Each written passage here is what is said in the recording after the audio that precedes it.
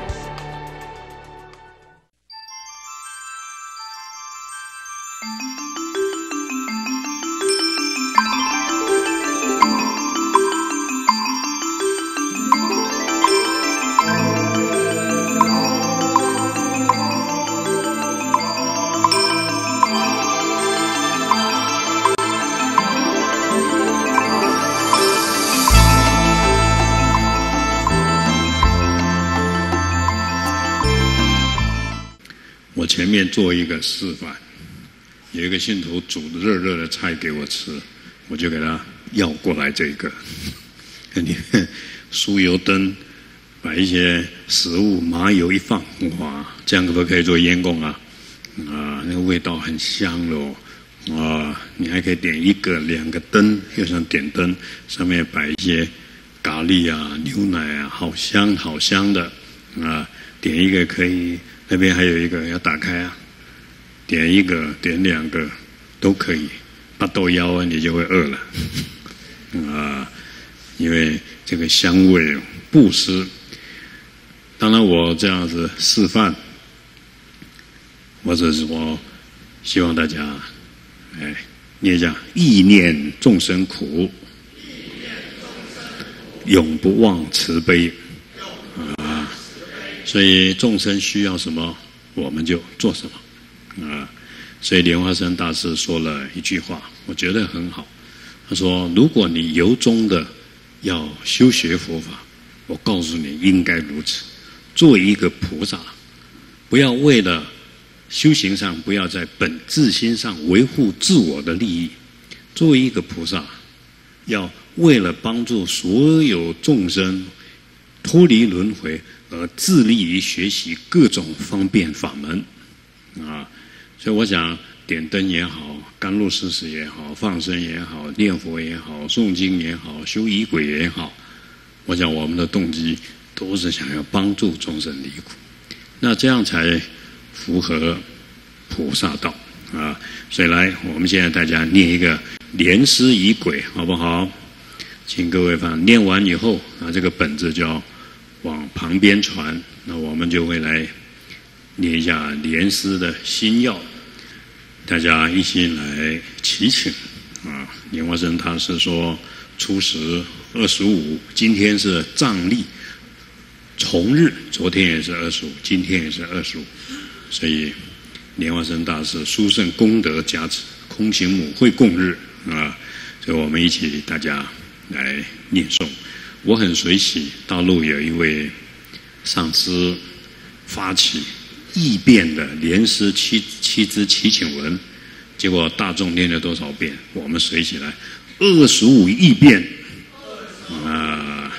所以呢，七支七请文啊，所以非常随喜。这个世界啊，有时候就会说话少讲一点，佛多念一点啊，佛经、佛号、咒语。啊，因为这个对世界有帮助了，所以我们大家齐请啊，念一下莲师心咒来，吽，无尽刹陀西北莲金花配智桌上，希有殊胜成就者，世成名号。莲花生，红心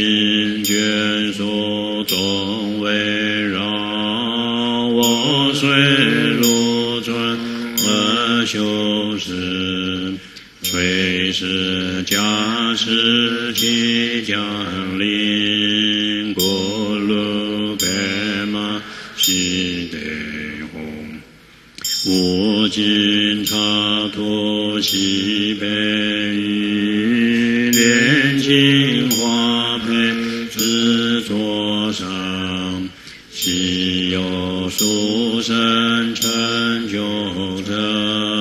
时称名号莲花生，共行眷属众围绕，我虽如尊而修持。随时加持其降临，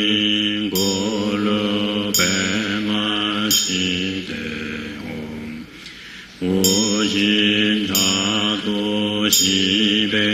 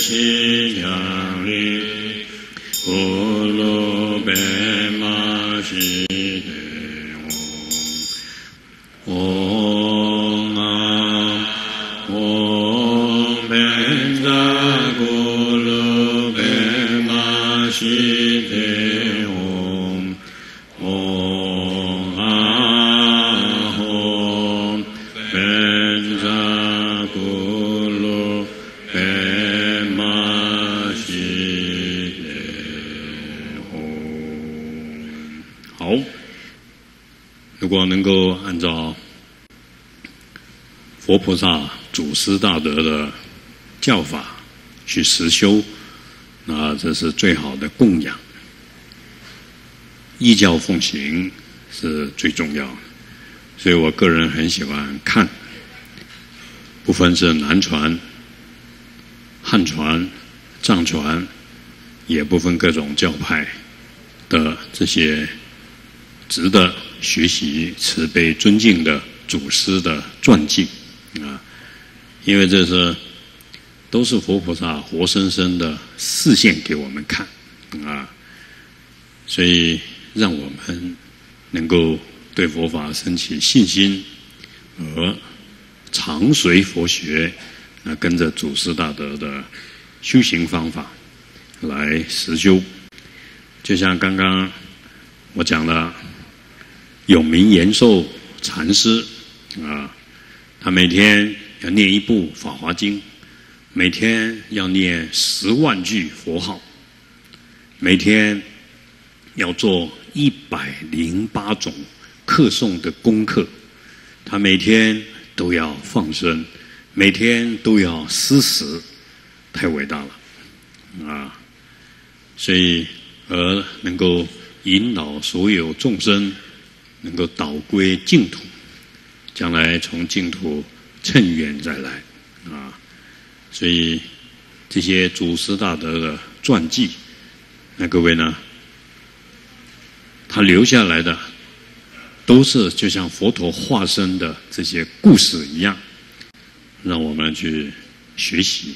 所以，当我们去看这个传记、去修行的时候，那你就得到这个佛菩萨化身的加持啊！就像冈波巴大师说：“你只要看《解脱庄严宝论》，就如同在冈波巴大师座下修行啊！”也就像莲花生大师说：“当我们祈请他的时候，他从来马上就会现前，永不舍弃我们。”那我想，为什么要做这么做呢？因为世间是苦，众生更苦啊！我们现在没有成佛啊，但是呢，为了要帮助这些轮回受苦的自己或是众生，那我们一定要祈求的三宝的加持。当然，有些人说我根本不用求，那为什么他不用求？因为他在世间得到快乐，他就不用求了啊。但是佛菩萨跟我们讲，所有世间的快乐都是轮回痛苦的因。如果你了解了真相佛法，你不会在这个世间去执着或找快乐啊！因为世间是苦，这一点，我们要不断的去思维，乃至去看到真相。因为这个世间一切存在都是无常，念一下无常、苦、空、无我。这个世间没有一样是永恒、常乐、我净的啊，永恒、快乐、清净存在的没有。但是是因为我们不了解，叫无明，所以却去追求这些会变化的，是苦的。所以无常故苦，所以呢苦空无我啊，所以空就是这个世间没有单独存在的，所以你一点都没办法控制它、掌控它。就像各位你去你去检查身体，你就知道说完了，海尿尿啊啊。那因为大家啊，时代也好，业力也好，鬼神也好，这些吃东西也好啊，现在的人跟我一样不运动，我叫不运动，因为每天坐在台上我还运动啊，下台还要写归依证、写笔记、看电脑，没办法啊，所以吃东西。没办法，要好吃。现在吃素也要好吃，要油，要咸，要煎，要炸，不然吃素不好吃。啊，那因为这些理由，所以那我们就会造成身体的四大不调，啊，有种种的病苦。所以我想，当然了，我讲这个只是体悟无常，而不是为了这个在修行，啊。也就是因为我们的身体会如此，世间的变化会如此，我们必须赶快精进，救我们的心，啊，让自己的内心能够脱离这种变化无常，啊，不执着，尽力就好，不执着，啊，这个心要向着菩提心，啊，向着解脱，向着菩提心。所以各位，你要一直想说，现在医生说你很痛了，现在很痛，得癌症了。现在什么能救你？末期了，什么能够救你？啊，唯有一心思维空性，一心念佛，啊，超越自我身体的变化，那是脱离世间的轮回，这是唯一的方法。啊，我们必须要这样的去思维。啊，今天下午我们尊贵的那听卢居士安排，我跟一位呃巴西来的。上师叫三智拉玛，啊，刚刚我看他来了，请给我们鼓掌一下，好，啊，我中文讲太快，他听不懂，啊，那因为他为了推广吃素的问题，以及推广。大家不要去喝牛奶、吃鸡蛋的问题，啊，非常努力，啊，所以，因为我们以前不太去思考这个问题，反正喝牛奶，它也没被杀，啊，但是这个缘起就不一样。你喝牛奶，那那些母牛就要被虐待，小公牛就一直被杀掉，啊，所以各位现在网络很多很好的骗子。那小小牛一生出来，那些那些工人商人就赶快把小牛抢走，对不对？母牛就追啊，啊哭啊，甚至有些就斗起来了，因为他要伤害这个人。但是无论如何，他会把小牛抢走，抢走以后，然后就变成小牛肉了。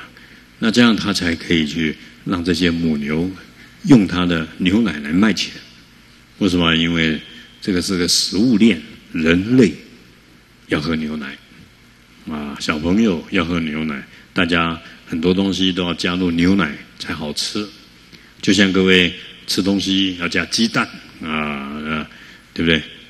炒的鸡蛋炒饭啊，就想起来就香啊啊！但是这样就必须要杀死啊很多母鸡。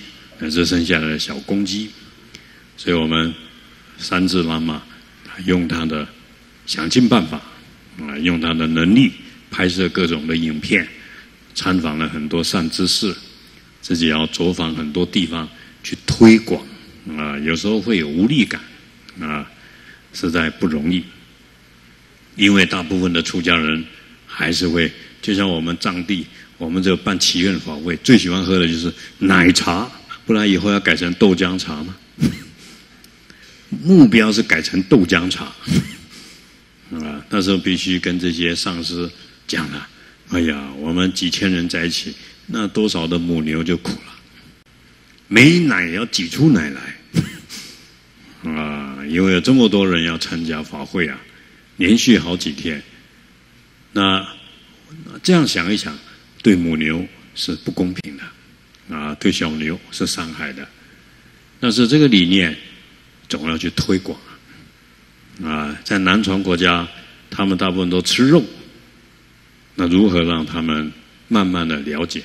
所以我们三智喇嘛说，要用摄影机拍片，让他们。以及我们都看到，念一下，看到真相。啊，看到真相就是那些牛受苦的，那些母鸡受苦的，那些吃肉的人看到那些猪牛的痛苦。我想人都有善根有佛性，当我们看到这一幕以后，我们就不会吃了。虽然牛奶好喝，但是不忍心喝了；虽然鸡蛋鸭蛋好吃，但是。不想要再欺负母鸡母鸭了，啊，这就是一种觉醒，佛教讲的觉醒，这个就是一种开悟，了解了，了解了，了解了众生的苦，而不愿意再自私了，进一步慈悲，帮助他们，啊，当然一方面能够让这做生意的人，呃，能够回向给他们，他们可以赚其他的钱，啊。那二方面对这些已经在被伤害的啊救他，但是更重要一点，念下来，超度所有动物亡魂。啊，老实说，就算我们每个人都去推，那还是进步有限，一个 percent、两个 percent，啊，在进步而已。但是百分之九十九的动物还是依然在被虐待、被杀，啊。所以我也了解这个，一方面要推，二方面最重要的是大超度。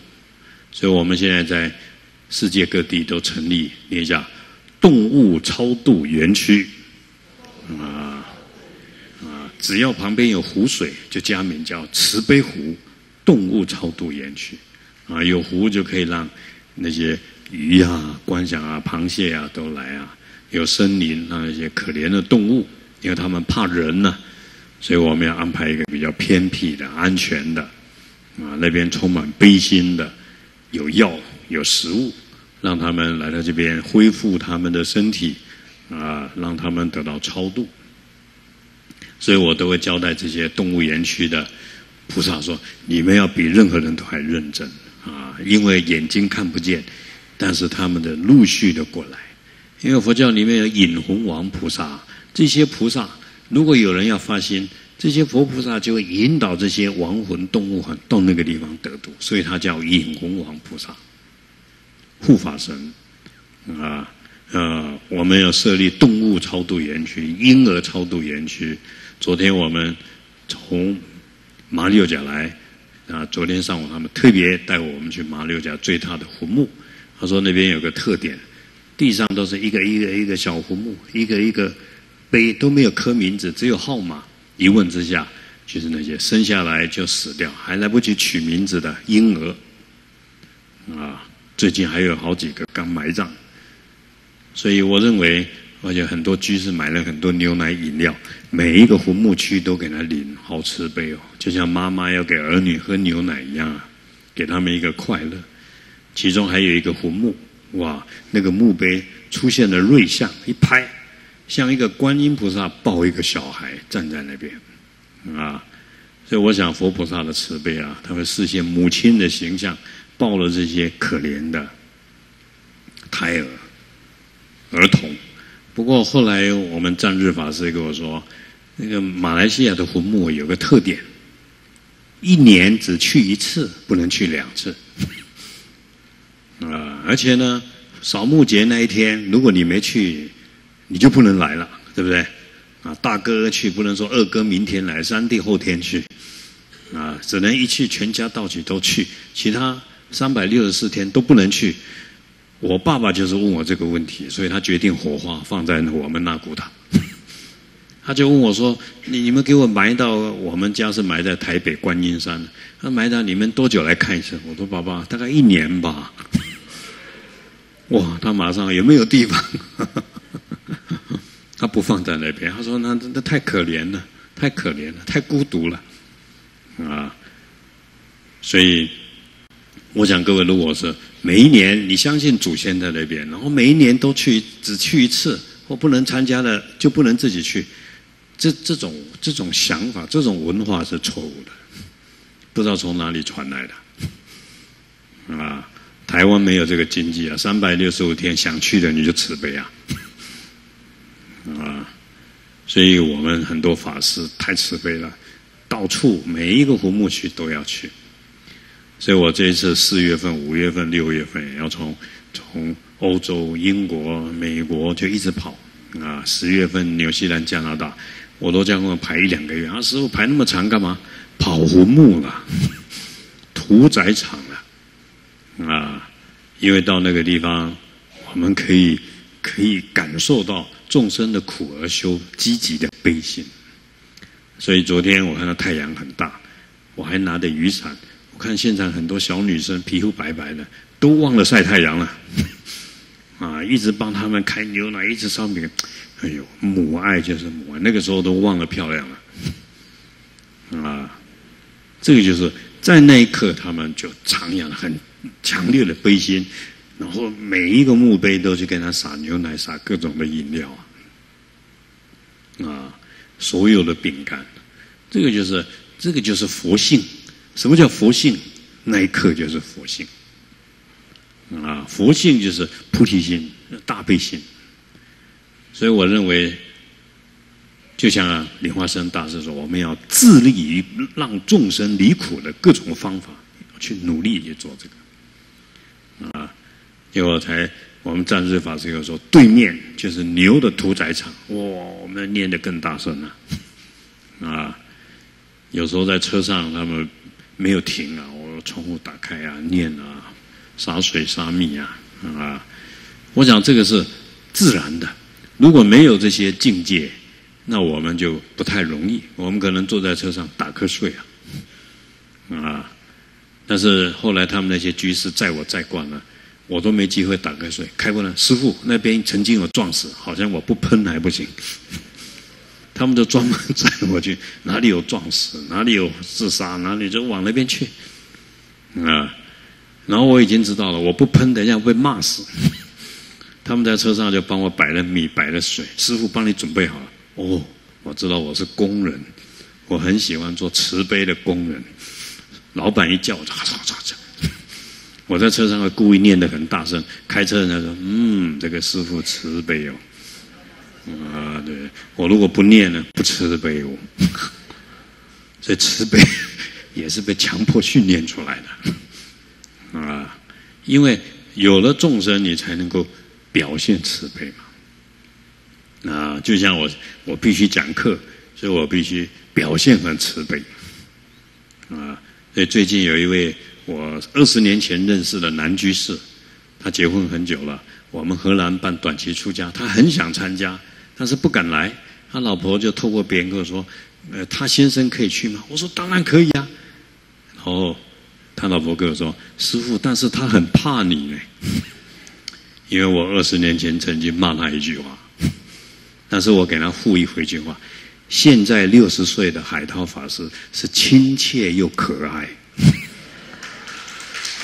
哈哈啊，嗯，请赶快来，我喜欢他。我变了，我跟你说啊，因为他这样跟我讲，我就惭愧。是啊，我二十年前他是做错一件事情。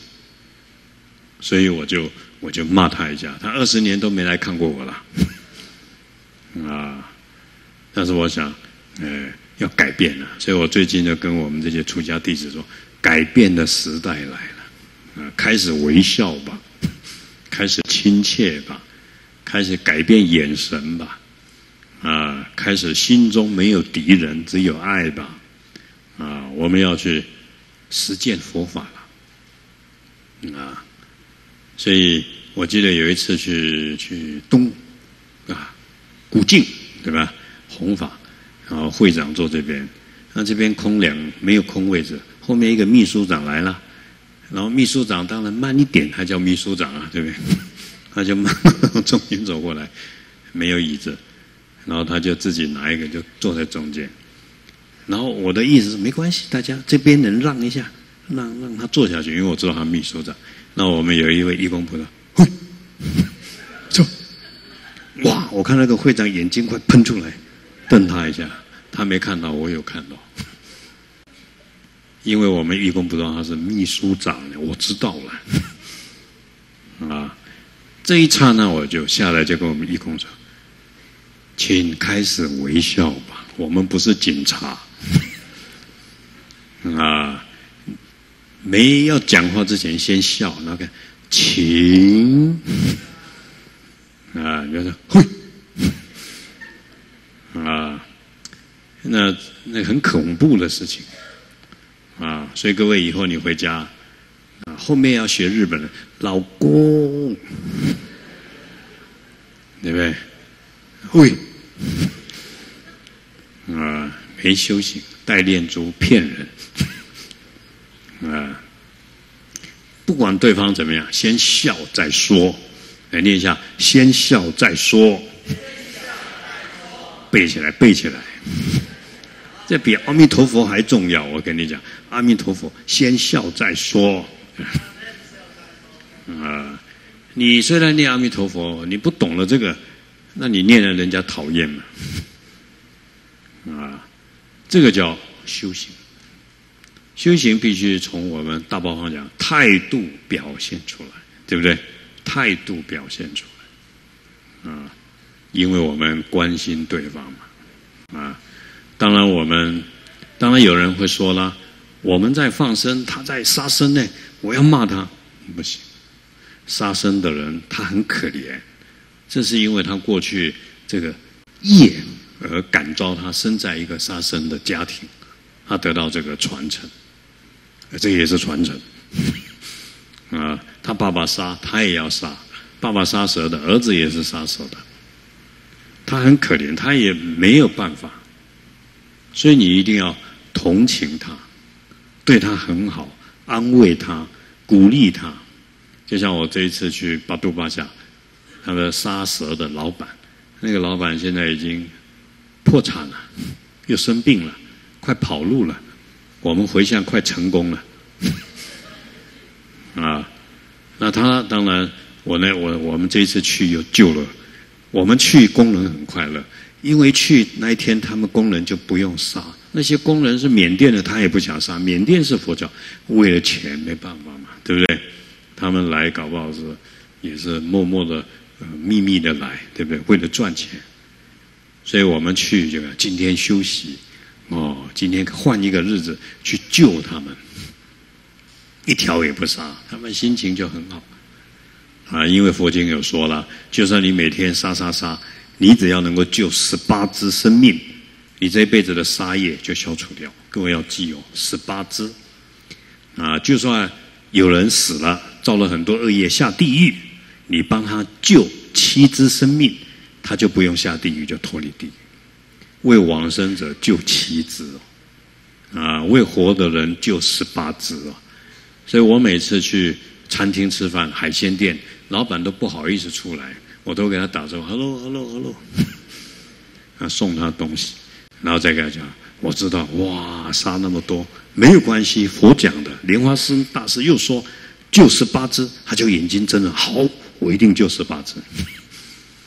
如果他每个月就救十八只，我看一年以后他就 OK 了，他就有福报了，他就会转业了，因为这十二次的善根呢熏习，他的悲心就起来。但是各位，你不会跟他讲说啊，你一定下地狱的，因为你在开海鲜店，然后你在杀生，那对方那就干脆不要信都没事，对不对？啊，所以各位呢，蜘蛛丝的故事，释迦牟尼佛为了一个杀人魔王，他曾经杀人抢很多珠宝，那天心情很快乐。当他要回家的时候，跨过他家门，看到一只蜘蛛，平常他都 活力细，但是因为他呢这一间杀了人，抢了很多珠宝，心情很好，所以就不杀那只蜘蛛，跨过去了。也因为这个善根，释迦牟尼佛一直观，哇，有这个善根。当他在无间地狱受苦的时候，释迦牟尼佛就用他的善根帮他蜘蛛丝，然后就到了地狱，让他起来。啊，这就是佛陀的慈悲。但是他爬一半的时候，后面有其他的众生要爬，他就说不行了，会断掉。他讲这句话一生气就断掉了，他也掉下去了。佛陀说。他没有善根，这个蜘蛛丝是慈悲的，几万个都可以上来，但是因为他的私心暴力又起来了，又掉下去了。佛陀说：“众生无奈啊，啊！”所以我想各位，我讲这个就是说，一个再坏的人，他都有一点一丝一个蛛丝马迹的善根，你要这样去看对方，可以啊。当然。除了他会伤害众生，我们不得不啊，请他不要伤害众生啊。但是如何一直借由他的一点点善根呢，一直给他回向啊，一直给他一点方便啊，让他有离苦的机会。因为呢，众生离苦就像那个蜘蛛丝一样，只有一点点机会。因为这个五浊恶是很难的。啊，不管你要推广吃素啊、放生啊、推广念佛啊、推广持咒啊，反正都有障碍啊。因为这叫末法，也因为末法，所以我们还要一直祈请啊，能够调伏魔障的莲花生大师啊。这是也是在佛陀受记的，这个越末法越障碍的时候，越需要莲花生大师的加持啊。因为能够降魔，呃，这边有一个问题，我回答完，我们就回向，法会圆满。好，第一个问题，他说小孩子申请大学遇到很多障碍，不是申请上迟了一两天，就是有什么要延迟上课，该如何化解？佛法就是正面的力量，点灯、诵经，啊，发愿做善事。就唯有正面的可以帮助消除负面的，包括你，嗡啊嗡班扎咕噜贝玛西德，啊，这消除障碍以正面去消除。当然，你的你的儿子最近是这样，那你可以鼓励他，这也是对他很好。那你你跟妈妈吃素七天，搞不好他就下来了。他搞不好就那那时候你要拜观观音菩萨，让他赶快正面，因为他一辈子就会相信 啊。然后他他也去做了一点善事发愿，哎，事情有效了，他就他这辈子就不改变了，这也很好。再来，孩子懈怠，爱睡觉，动不动就向父母发脾气，给脸色看，正常，因为来讨债的，你要甘愿，那你要自己忏悔啊，多替他还债啊，放生就是还债啊，替他点灯啊，对不对啊？所以。现在的教育啊，实在是没办法，对不对？以前我们小时候给脸色，给脸色打扁你的，给脸色。现在父母给脸色就给脸色，你也不敢打扁他，所以他就越来越给你脸色看。这也要怪自己喽，啊！所以以后你儿子给你脸色看，你就看哇，又是阿弥陀佛脸，这样就好了。这叫修升起次第，你要转化，要转化，要这样。再来学佛要怎么样看待风水的事情？古人的智慧我们要尊重，一切都有影响的。啊，你愿意相信这是个善事也无妨。但是如果你有一个对佛法的信心、善根跟空性，这是可以超越的。啊，但是如果站在世间相对法，它是存在力量的。不信你试试看，你有一个梁，今天你头在那边下，看你睡得着吗？有一个梁，你头上，你就睡不着，它是有气场的，这个叫风水啊，这个还是有的。以前我在台北睡个房间，他们好心通都给我做镜子，不太好睡。后来有个有个会看，哇，师傅你晚上是不是不好睡？我说当然了，奇怪，你房间都是镜子怎么睡？我说哇，你只要把镜子都挡起来就好睡。我一定相信，全部把它挡起来就好睡了，对不对？啊，那你说不能说没有影响啊？因为这个肉体还是肉体嘛啊。所以我我认为在这一点我不排斥，但是我不迷信，我随缘吧啊。但是为了众生好，人家这样讲，那我会尊重啊。他说弟子的儿子跟媳妇吵架，现在三个孙子跟母亲，儿子在我家，但是我儿子带了一个女朋友回家来。让弟子不知道怎么做，儿子说妻子做对不起他的事，让他无法接受。弟子想问师父：我儿子在呃在我这里住，万一有一天他们离婚，是不是害了他们？弟子有罪好生呢。赶儿子出去，弟子又心不忍，请问该怎么办？平等心对待，一切随缘啊。因为我们管不了他们，诸法无我。儿子有儿子的因缘，你的媳妇有她的因缘，他现在这个女朋友又另外一种因缘，对不对？因为你赶出去，或是你不要，对他也没帮助。那趁这个机会，用佛法一直回向给他们。当然也要回向外面的媳妇跟三个孙子，要回向现在这个儿子，也回向现在新的女朋友。啊，如果他对你儿子有帮助，请他留下来；如果他对你儿子没帮助，可以早一点分开。你可以这样发愿，但是你不能不明就里的就把人家赶走，对不对？因为佛教里面都这样。如果他这样好，那么就这样这样；如果他们这样不好，就这样。我都是这样回向。如果生病对我有帮助，那我就生病吧；如果好起来对众生们，那就好起来吧。但是我两边我都接受，因为祖师大德这么说。所以要这样回向来，嗡啊吽，班扎咕噜，贝玛西德吽。还有一个咒叫大随求咒，就是说，像别人问我问题，那我就会跟他念这个咒，就是满他的愿，希望好好好，大家都好。念一下，嗡，巴拉巴拉，桑巴拉桑巴拉，印达尼，维修达尼，轰轰噜噜，下列说哈，愿圆满解决，啊，一切满愿。所以现在你不能烦恼，你是借这个机会来修行吧，啊，这样就好。去年出家弟子因家中有事不能参加，心中不舒服。今年还办吗？报告各位，今年十二月九号在亚罗斯达办，因为亚罗斯达有一个吉打佛教会，听说盖很大，对不对？可以住两千多个人，随便吧，啊，然后我们就。今年办在那边，显然马来西亚比较有福报哦，啊，所以但是我们五六月份在加拿大温哥华，还有在加拿大还有荷兰有办，但是那地方太小。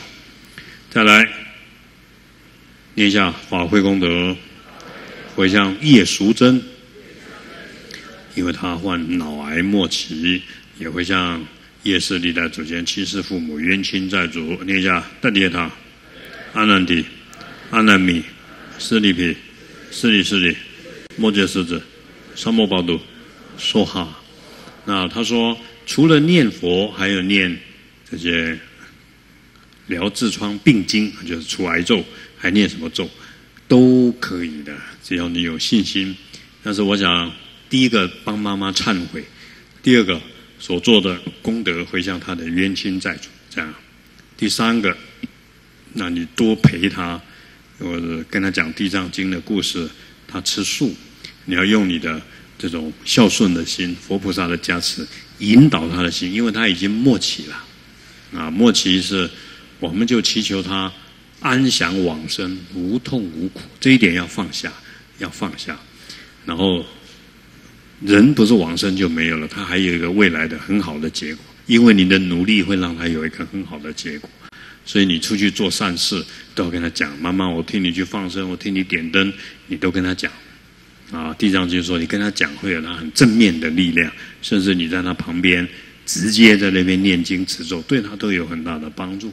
那你的母亲成为你的修悲心的一个很好的助缘，那以后希望你对待任何众生都像你母亲一样，这个就是一个愿力啊，这个愿力就是帮助他消除病痛最快的方法。好。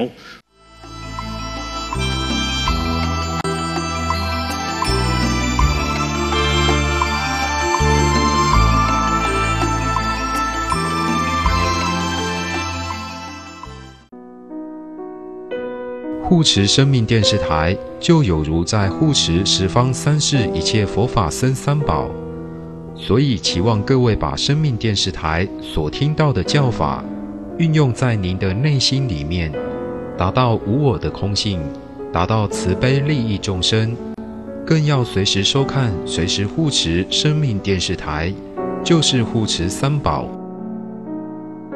护持账号：一九九六五二三二。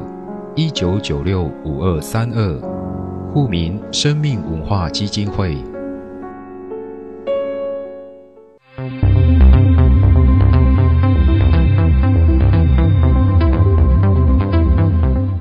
大家好，我是中央指挥中心副指挥官陈宗彦。国内社区疫情风险相对稳定，请大家继续注意疫情的发展，嘛随时做好个人健康管理。一签收挂号甲包裹时，请一定爱会记哩。第一，请保持适当社交距离；签收前，请会记先挂好喙暗。第二，签收前后，请会记洗手。另外，家己买当准备圆珠笔，也是囡仔来签收，减少接触的机会。隔离检疫期间，请毋通家己出面签收，嘛会使拜托亲戚朋友去代领。请大家做伙来建立防疫安全网络，迈向防疫新生活。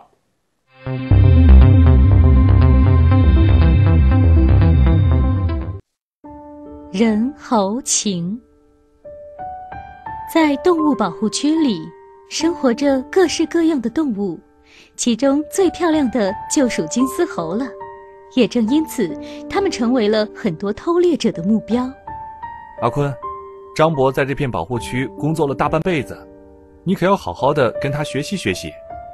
这里的工作可不是学能学会的，你得和保护区里这些动物交上朋友才行。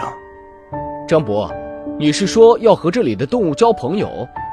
是啊，也只有这样，你才能更好的保护他们，尤其是这满山的金丝猴，它们漂亮的样子是偷猎者最喜欢的。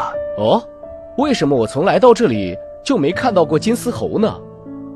前几年偷猎金丝猴的人非常多，从而导致金丝猴群非常警惕。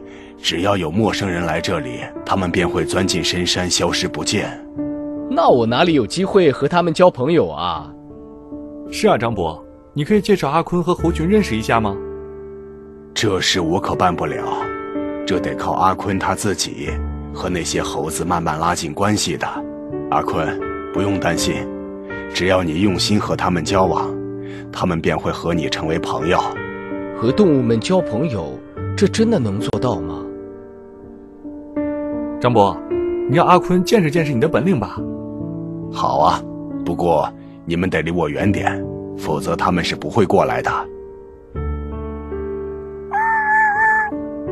那些猴子真的会来吗？放心吧。猴子们听到他的呼唤后，一定会来的。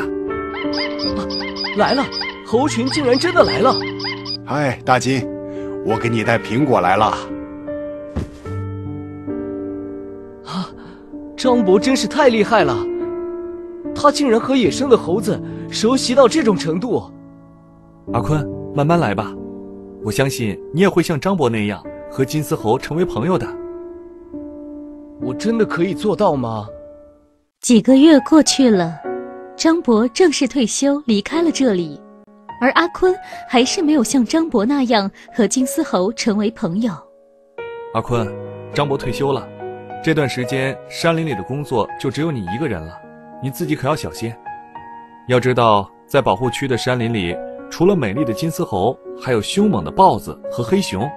放心吧，我这里有猎枪呢，对付野兽容易。可是和金丝猴交朋友可就难了，他们根本不让我接近啊！慢慢来吧。当初张博在山林里搭了一个小木屋，金丝猴经常去串门子。我看不如你就去那里等着，搞不好他们会主动找你呢。对呀，这主意不错。那我就先去那里住几天，说不定真的会有机会和那些金丝猴接近，成为朋友呢。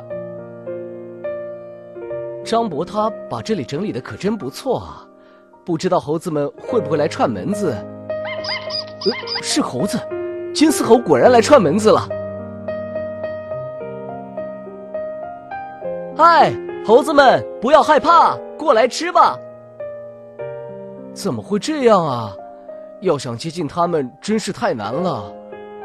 既然金丝猴会在小木屋那里出现。阿坤便时常去那里等候他们。然而，当他再一次来到小木屋后，却发现屋子里被破坏的乱七八糟。天哪，怎么会这样？猴子们竟然跑到这里来捣乱！啊，看来我不但没和他们交上朋友，似乎还结仇了。喂，阿坤，怎么样了？你现在能够接近金丝猴群吗？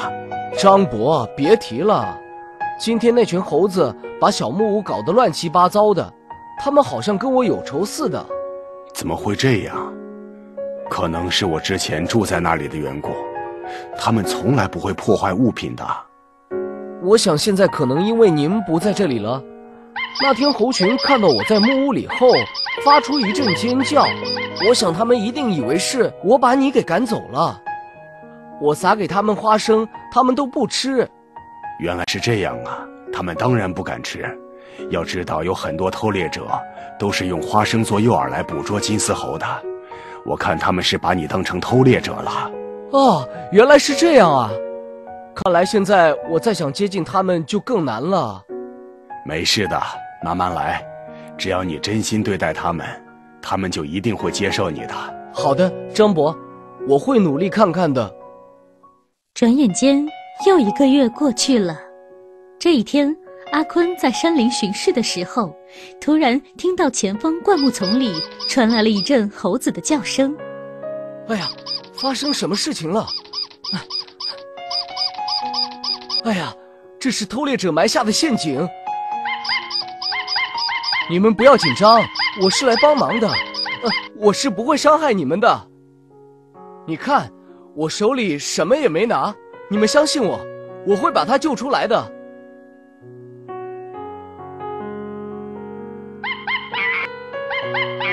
不要紧张，不要紧张，你看，他的脚被扣住了，我可以帮他解开的。小家伙，不要害怕，马上你就自由了。他的脚没什么问题，以后可要小心点啊。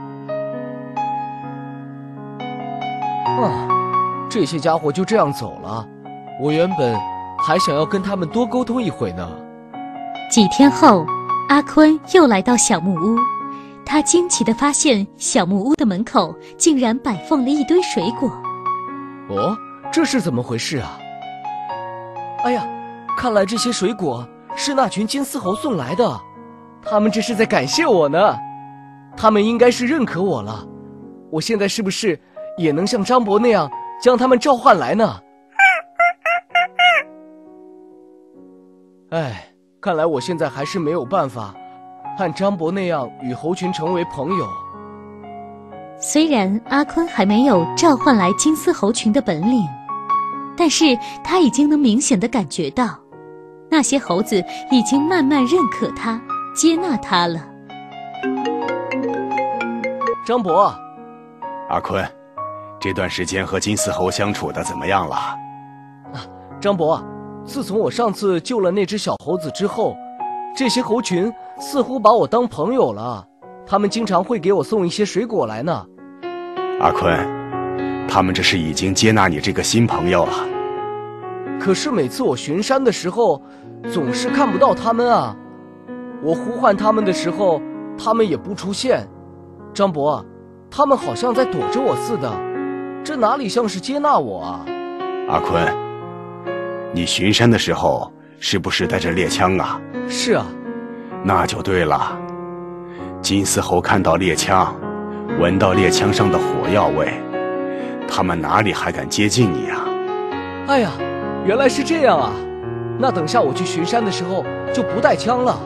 对，不过不带枪的话，你可不能太深入山林哦。要知道，山林深处是有很多凶猛动物的。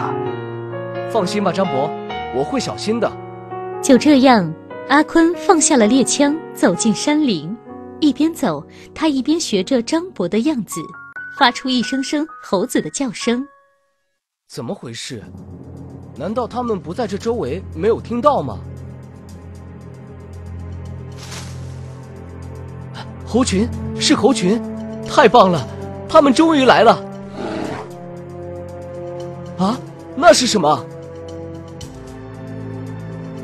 啊，黑熊！啊，救命啊！救命啊！啊，哎呀，完了！今天看来，我要被这只黑熊给吃掉了。